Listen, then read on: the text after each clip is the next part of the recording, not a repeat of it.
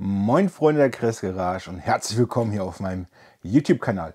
Ich habe heute mal wieder eine Idee vorbereitet, die unterstützt wurde durch einen Bekannten, vielleicht auch bald Freund, Thomas Stober. Erstmal dahin danke.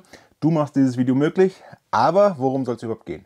Wer mir auf den Social Media Kanälen, sag ich mal Facebook folgt, der hat schon mal was von der Fünferbande gehört.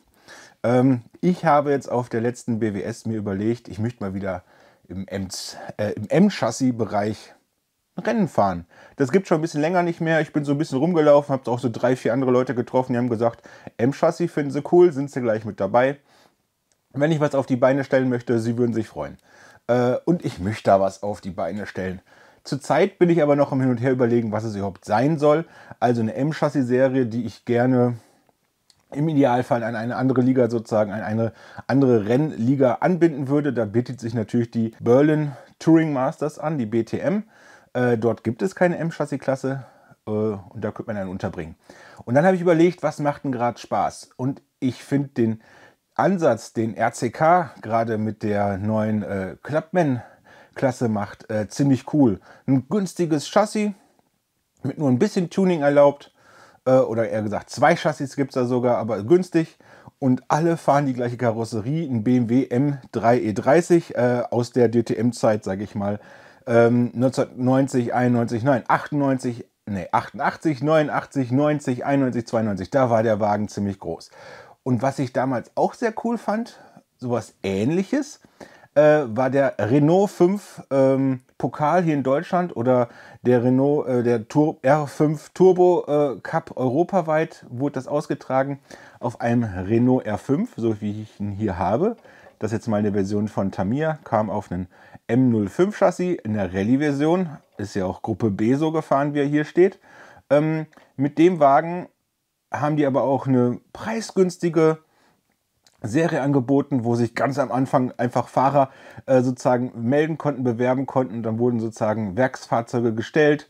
Äh, und die, das war eine richtig große Gaudi. Das wurde bei anderen Rennen mitgefahren und hat richtig viel Spaß gemacht. Und ich würde das gerne anlegen, denn für M-Chassis gibt es sehr schöne Renault 5 Turbo Karosserie. Einmal von Karten gibt es eine, dann die hier von Tamiya. Die ist mittlerweile sehr selten geworden und auch mit den ganzen Anbauteilen hier vorne vielleicht nicht die beste Version, ähm, um mit ihr jetzt Rennen zu fahren. Aber ich glaube, zwei Hersteller gefunden, die auf einem M-Chassis mit dem Radstand, glaube ich, äh, 210 mm eine sehr schöne äh, R5-Karosserie angebracht haben. Das heißt, in der Art könnte man doch Rennen fahren. Aber welches Chassis soll drunter stecken? Und darum soll es in diesem Video gehen. Ich habe hier mal einen etwas aufgetunten M06 von Tamiya.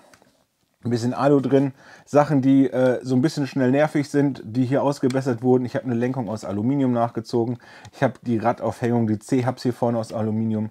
Die Besonderheit, wir haben einen sehr weit hinten liegenden Motor. Hier auch noch so ein paar äh, Metallkühler äh, sozusagen verbaut, damit der Motor die Hitze ein bisschen besser abgibt. Ansonsten sind hier noch Öldruckstoßdämpfer äh, verbaut. Das wäre ein M6. Mit dem könnte man zum Beispiel fahren. Was ich ziemlich cool finde, gibt es so aktuell Versionen von mit anderen Karosserien drauf ab 100 Euro. Aber so im Schnitt kostet die 130 Euro. Dann hast du einen Fahrtenregler, einen Motor, eine Karosserie dabei und Reifen. Und dann müsste man halt gucken, ähm, man kann die halt auf verschiedene Radstände einbauen. Der kürzeste wird 210 mm und dann müsste man sich halt eine der R5 Karosserien holen und könnte mit dem Wagen fahren. Also entweder möchte ich es komplett offen lassen oder man sagt nur Tamir und dann halt entweder der 06er oder der 05er vielleicht, um es günstig zu halten. Auch so eine Chassis, äh, diesmal im Frontmotor. Hier ist noch kein Tuning drin. Ähm, Frontmotor, frontangetrieben.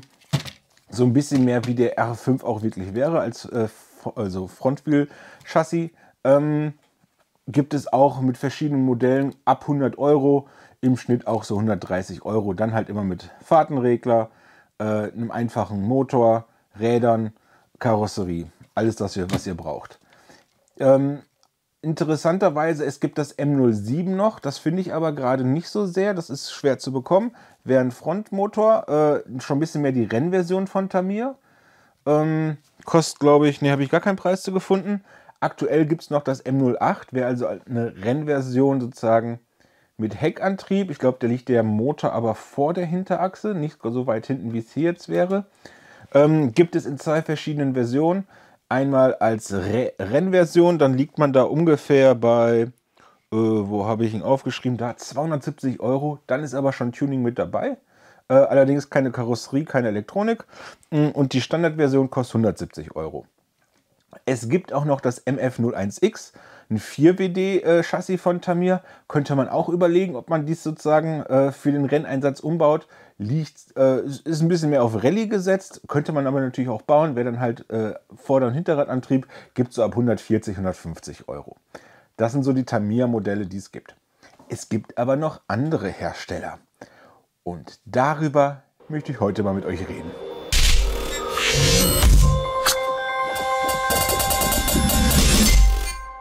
So, nach dem langen Intro, herzlich willkommen beim Karten M210R Vorstellvideo.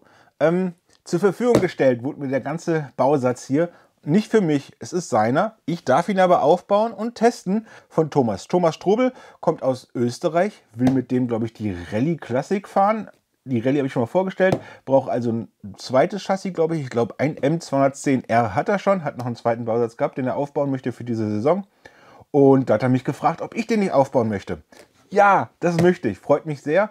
Äh, ich habe totales Interesse an diesem Chassis, weil ich ja gerade mehrere Chassis mir angucken möchte, ob ich sage, okay, wir lassen für diese Klasse einfach alles zu, was möglich ist, oder wir versuchen es preisgünstig zu machen. Wobei preisgünstig, der ist auch preisgünstig. Hier ist es die R-Version. R-Version kostet ungefähr 150 Euro als Bausatz. Es gibt den auch einfach als Karten M210 so, dann ist es mit sehr viel mehr Plastikteilen, kostet ungefähr 120 Euro. Also die R-Version hat ein paar mehr Features dabei, unter anderem Aluminium 12 mm Radmitnehmer, einstellbare Spurstangen, Aluminium Öldruckstoßdämpfer und Metall-Kegeldifferentiale. Des Weiteren hat mir der Thomas noch einiges mitgeschickt, was ich auch mit im Wagen verbauen soll. Äh, so ein bisschen Tuning, keine Ersatzteile. Hier zum Beispiel haben wir einen Lüfterhalter für einen 30 mm Lüfter, denn er möchte einen Lüfter verbauen. Im Rennbetrieb werden die Motoren recht schnell heiß. Wenn man da den Motor so ein bisschen kühlt, hält er länger die Kraft sozusagen. Das heißt, hier ist ein kleiner Motor, Kühler sozusagen, den man mit im Chassis drin verbaut. Der ist mit dabei. Dann gibt es nochmal die Querlenkerhalterung und die Querlenker mit so ein paar Kugellagern. Dadurch wird die Lenkung so ein bisschen smoother. Äh, das werde ich einbauen, anstatt dem Original, was hier dabei ist. Natürlich gibt es noch einen Stabi-Setz dabei. Auch der hilft dem Wagen sozusagen im Kurvenbereich besseren Bodenkontakt zu haben und schneller durch die Kurven zu kommen. Das sind so Sachen, die er noch nachgebaut haben möchte. Des Weiteren hat er mir noch ein paar Elektronik-Sachen dazu gebaut, denn ich soll ihm den Wagen komplett rennfertig machen. Nein, hier ist kein Türstopper drin. Hier drin sind noch so ein paar andere schöne Sachen verbaut. Also zum Eisen hat er mir ein festes Horn mitgegeben. Also er möchte kein äh, Servo-Saver haben. Ähm, er hat ein Horn, damit fährt man direkter. Allerdings werden Einschläge in Banden, wenn die direkt auf das Vorderrad kommen, direkt auf den Servo übertragen. Wenn das ein recht günstiger Servo ist, kann der mal kaputt gehen. Ähm, wenn man besser fährt, braucht man das nicht unbedingt, wenn dadurch wird die Lenkung manchmal ein bisschen schwammig. Also mit einem Servohorn, wie es hier ist, einem Starren, ist die Lenkung direkter, aber der Servo wird stärker angefallen. Dann haben wir noch von Hobbywing ein XR10, ähm, ein Fahrtenregler mit ordentlich Power. Ich glaube, das ist ja einer mit äh, 70 äh, A Ausgang, also ein schickes Teil. Ich habe davon auch einen. Macht Laune, ist in der Klasse super einzusetzen. Ich habe noch ein Adapterkabel und, wo wir gerade vom Servo gesprochen haben, ein STR-Servo. Und zwar einen ganz besonderen. Ich lese mal die Titelbezeichnung vor. Der BH8015. Und was das Ding kann? Verdammt schnell sein. 60 Grad Lenkeinschlag bei 8,4 Volt, das ist ja das, was wir da haben. 0,05 Sekunden braucht er, um 60 Grad zu überschlagen. Das heißt, eine sehr, sehr, sehr schnelle Lenkung. Allein das Teil 100 Euro. Und weil es ein kleiner Wagen ist, einen kleinen Lipo, ich habe keinen zum Testen, hat er mir dankensweise mal einen mitgegeben, damit ich auch die kleinen, äh, den Wagen nochmal testen kann wenn er denn aufgebaut ist. Also noch einen kleinen Akku dabei. Das sind sozusagen die Shorties, auch zwei S-Lipos. Ist jetzt hier 4200 mAh. Und einen schicken Motor. Und da bin ich ja doch so ein bisschen verwundert. Die fahren recht schnelle Motoren da hinten. Also, wir haben hier von Reedy ein Power. Und zwar die ähm, Reedy Power S Plus Version Motoren. Kosten so um die 110 Euro Stück. 13,5 Turn. Das schnellste, was ich bis jetzt gefahren sind, sind 17er. 13,5 ist schon recht schnell. Das in einem kleinen Wagen. Muss mal gucken, was für eine Übersetzung man hat. Aber damit fahren die halt. Den werde ich verbauen. Ähm, und so Grund im Ganzen, was wir jetzt hier haben, kann ich einmal kurz ablisten. 150 kostet alleine nur der Chassis-Bausatz in der R-Version. 120 die günstigere. Es gibt noch eine M210R Plus Version. Da sind dann schon Stabisatz dabei und noch so ein paar andere Sachen. Die liegt ungefähr bei 185 Euro. Uh, macht vielleicht Sinn, da die Euros auszugeben. Ansonsten hat er ungefähr mir noch für 66 Euro Tuning-Teile dazugelegt. Wir haben 100 Euro für den Servo, 110 Euro für den Motor, 80 Euro für den Fahrtenregler, 20 Euro, sag ich mal, für so ein Servohorn und 45 Euro für den Akku. Wenn man das alles mit einer Fernbedienung aufbauen möchte, das, was ich jetzt hier habe, muss man knapp 670 Euro investieren. Ist gar nicht so günstig, dafür, dass es ja eigentlich günstig sein sollte. Das heißt, ähm, so wie er hier ist, ist er, glaube ich, für die Klasse und für die Idee, die ich habe, äh, was diese, R, diese R5er 5er Freunde Serie sozusagen angeht, ein bisschen zu hoch geschossen. Aber ich schaue mir mal an, vielleicht macht das Tuning ja Sinn. Ähm, auf jeden Fall Elektronik ist halt immer teuer, in diesem Fall sogar teurer als der ganze Wagen. Gehen wir mal einmal Unboxing kurz hier durch und dann besprechen wir weiteres. Schauen wir uns nochmal hier die Verpackung an. Also wir sehen vorne drauf von Karten den M210, die allgemeine Box. Hier sehen wir jetzt schon abgebildet drauf den M210R. Genauer sehen wir es auch nochmal hier in der Seite. Hier wir den Punkt M210R. Und hier auch die Unterschiede zwischen den beiden Versionen. Also im R drin ist ein also Metallgetriebe-Differential. Wir haben Aluminium-Stoßdämpfer. Wir haben Sechskant-Reifenmitnehmer äh, und Turnbucks. Das heißt, die haben in der Mitte noch einen kleinen Ansatz sozusagen, mit dem man besser schrauben kann. In der normalen Version wären nur, Screw, äh, wären nur Schrauben drin. Die hier haben zwei gegenläufige Gewinde. Unterschied halt zum R ist halt Plastikstoßdämpfer und ein Ballgetriebe. Lässt sich ein bisschen komplizierter aufbauen. Das läuft ein bisschen ruhiger. Hier haben wir nochmal die Abmaße. Das heißt, einstellbar ist er ungefähr auf 208 bis 210 mm. Das heißt, mit dem kann man nur die kurze Version fahren. Äh, anders bei Tamiya ja zum Beispiel, da kann ich zwischen den 210, 225 und 239 mm die meisten Chassis ja immer im M-Chassis-Bereich einbauen. Hier haben wir halt nur ein Chassis. Auf der Rückseite haben wir noch mal ein paar Vorteile sozusagen. Wir haben Aluminium Center Diff, ziemlich cool. Wir haben Aluminium Motorhalterung. Wir haben sehr schöne leichte Aluminium Servohalterung. Wir haben Stahl CVDs, finde ich auch sehr spannend. Äh, Supergear-Aufnahme sozusagen, um das Hauptzahnrad zu regeln. Hier in der R-Version sind jetzt halt noch drin, wie ja gerade schon angesprochen, das Metalldifferential, das Metallgetriebedifferential. Wir haben die Aluminium 6 Kantmitnehmer sozusagen und die Öldruckstoßdämpfer. Schauen wir mal rein. Sieht schon ein bisschen anders aus, als wenn ich mir jetzt so Tamiya-Modelle angucke. Dabei ist hier noch ein 4000er Öl und das ist glaube ich so dünnflüssig, das müsste für die Stoßdämpfer sein. Wir haben eine Carbon Chassisplatte, die ist ungefähr 2 mm dick. Wir haben eine kleine gedruckte Anleitung, ein DIN A5 Heft. Hier drin sind beide Versionen drin. Nochmal ein paar Sticker.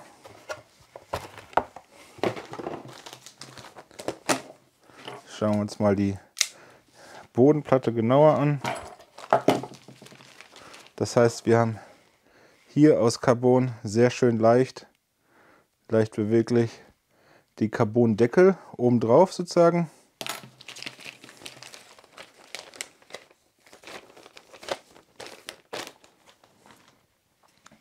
Und hier noch leicht ölig die Carbon-Bodenplatte. Alles schon sehr sauber vorgebohrt. Die Carbon-Optik ist nur außen drauf, ist so ein gepresstes Material. Kanten sind schön geschlossen. Und dann gehen wir noch mal in die Haupttüte mit rein.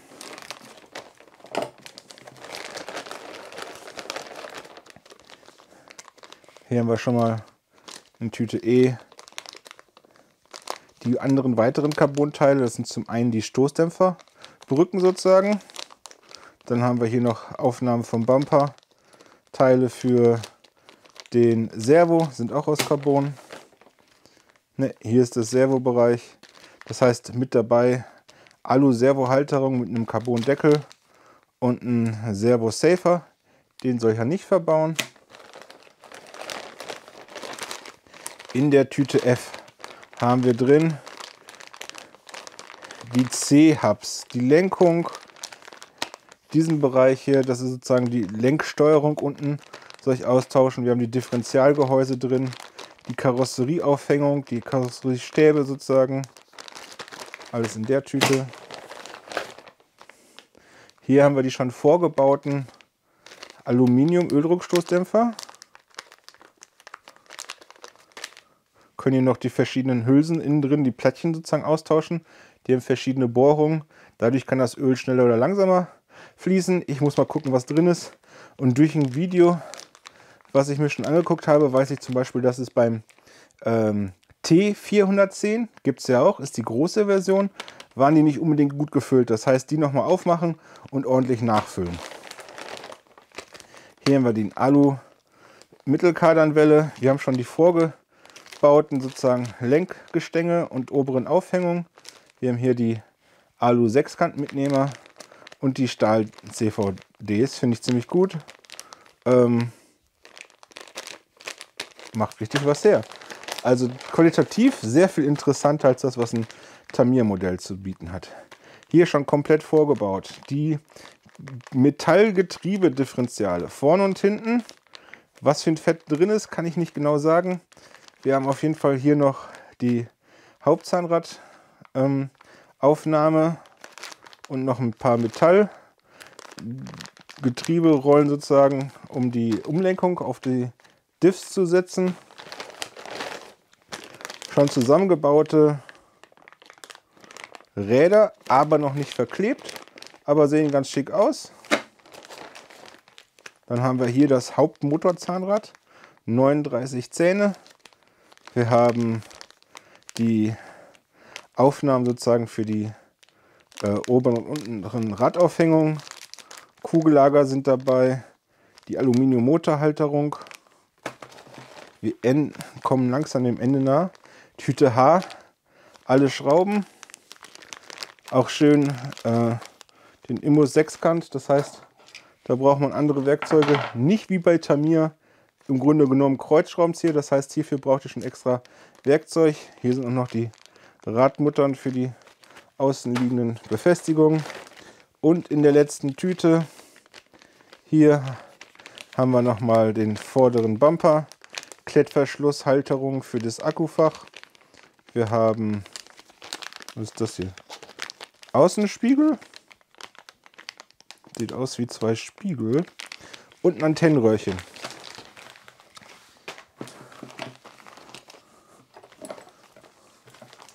So. Und dann werfen wir noch mal einen ersten Blick in die ups, Anleitung rein. Wie gesagt, ansonsten noch ein paar Sticker. Und die Anleitung. Schickes Heft. Insgesamt 30 Seiten. Auf der letzten Doppelseite haben wir noch mehr so eine schöne Explosionszeichnung. Ansonsten gut gedruckt kann man schön klar sehen. Ich habe mir eine PDF im Internet angeguckt, die war nicht so klar zu sehen. Hier haben wir nochmal den Unterschied, was für Materialien wir brauchen. Wir brauchen Heckschraubendreher mit 1,5, 2 und 2,5 mm. Wir brauchen ähm, Box-Außenschraubendreher sozusagen. Da werde ich das Tamir-Horn benutzen.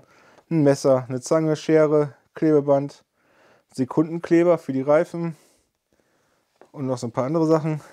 Hier wird nochmal gezeigt, wie die Elektronik zusammengebaut wird und wie man sie anschließt, um nachher auch den Servo sozusagen zu, auf Null zu setzen. Hier haben wir so ein paar Fachdaten. Ähm, das ist jetzt das sozusagen das Equipment für den M210, was dabei ist. Und hier haben wir die Daten für den M210R. Hatte ich euch von außen schon gezeigt. Was hier noch mehr erklärt wird, ist, wie ist das Getriebe das Getriebedifferential, sozusagen das Sternmetallgetriebedifferential aufgebaut und wie ist das Kugeldifferential aufgebaut. Falls man es mal auseinandernehmen möchte, hier sind sie ja schon zusammengebaut. Wo haben wir sie? da. Also falls ihr sie mal komplett auseinandernehmen müsst, hier habt ihr eine Explosionszeichnung, wie das gesetzt wurde, was ihr alles braucht, um die sozusagen zusammenzufügen. Also einmal das Getriebe und einmal das Balldifferential. Dann wird hier auch nochmal erklärt, wie ich die ähm, Aluminiumstoßdämpfer befülle, worauf ich achten muss, was ich einstellen kann, welche Federn auch hier dabei sind. Hier ist jetzt aber nur ein Satz Federn dabei. Ähm, und hier wird das Plastik erklärt, braucht man nicht. Und dann geht es hier schon auf den Aufbau. Wir sehen immer den vorherigen Schritt, der ist so ein bisschen ausgeblichen, ausgeblichen, leicht transparenter. Der aktuelle Schritt ist immer recht kräftig gedruckt. Ansonsten viel Erklärung gibt es nicht. Wenn es mal eine Besonderheit gibt, ist die hier mit so einer ganz kleinen Sprechblase versehen. Also guckt immer drauf, dass ihr es richtig beachtet, richtig einbaut. Ansonsten wird hier erklärt, wie das der Servo Safer zusammengebaut wird. Das machen wir auch nicht. Und so geht man dann knapp diese sag ich mal, 33 Steps durch. Hier werden noch mal einige Chassis vorgestellt, die auf dieses M-Chassis passen. Da ist auch der von mir angesprochene Renault R5 dabei mit der Artikelnummer NBA 801. Finde ich super spannend. Es gibt aber noch ein paar andere Sachen. Gerade der Mini-Pickup ist interessant. Hier ist nochmal ein amerikanischer Pickup. Haben schon ein paar schöne Sachen dabei. Hier sind nochmal optionale Parts erklärt. Das heißt, falls ich etwas anders zusammenbauen möchte, müsst ihr aber euch wieder sozusagen noch mal extra dazu holen. Ähm, keine Artikelnummer.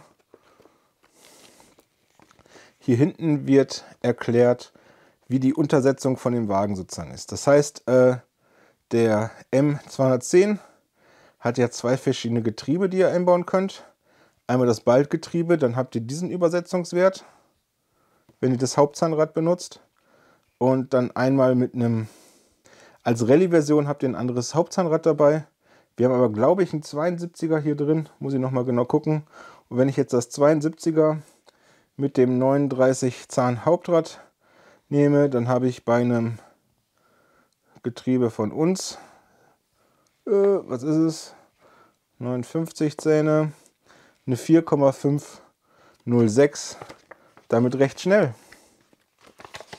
Ansonsten sind nochmal alle mit alle äh, Teile sozusagen, die im Bausatz drin vorkommen, mit der entsprechenden Artikelnummer hinten aufgelistet. Falls ihr davon einen nachbestellen wollt oder Ergänzungen haben wollt, gibt es zum Beispiel verschiedene harte Federn. Gibt verschiedene Reifen, gerade wenn ihr im Rallye-Bereich damit fahren wollt. Und wie gesagt, am Ende nochmal die komplette Explosionszeichnung. Das ist alle Parts samt Elektronik, die ich für den Aufbau von dem Karten M210R brauche. Nur nochmal so, es gibt die Plus-Version, da ist dann schon bei der Stabilsatz, äh, womit ihr sozusagen die Lenkung und das Fahrverhalten vom Wagen noch wesentlich besser anpassen könnt. Ähm, vorne ist ein Spool verbaut, das heißt vorne ist kein Differential verbaut, das heißt vorne gibt es keine äh, Drehung im Differential, vorne ein Spool, macht man beim Rennfahren öfters mal gerne. Wäre noch ein Tuning-Satz, den man sich hier nachrüsten könnte, aber auch, es gibt Aluminium-Vorspurblöcke.